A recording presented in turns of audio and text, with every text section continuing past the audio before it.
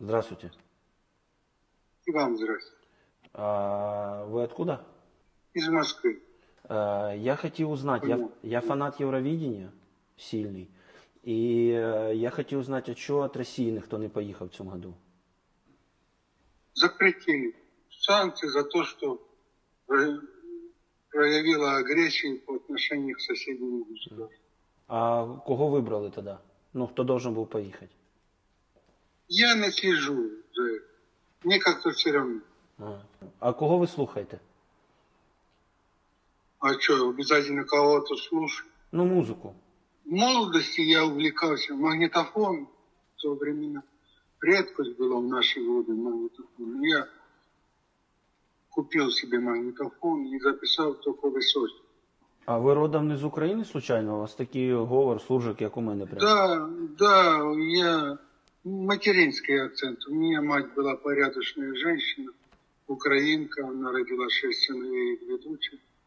И все мы знали своего отца украинца. Так что я родился украинцем, питал национальное самосознание украинца с молоком матери и прожил 54 года в Российской Федерации ну, украинцем и умру в России украинцем.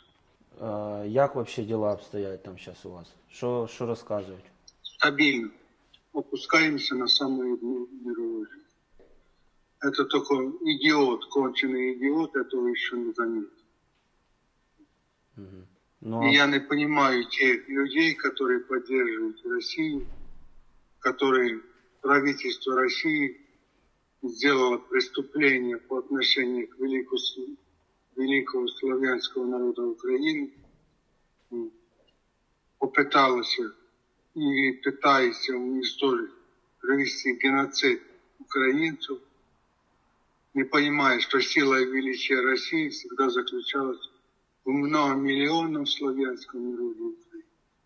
Без украинцев Россия не состоялась как Российская империя, без украинцев Россия не состоялась как Советский Союз, без украинцев Россия не состоится как Российская Федерация.